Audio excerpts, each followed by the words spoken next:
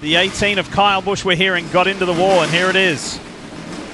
How did it happen? Well, you can see all that debris. Just we, we saw that earlier. We saw Ricky Stenhouse Jr. committed to the throttle. He went up the racetrack, but he didn't get up quite as high as Kyle Busch. Kyle Busch just out of the groove. And this is what we see with a newer paved racetrack. The outer groove just has no grip, Marty.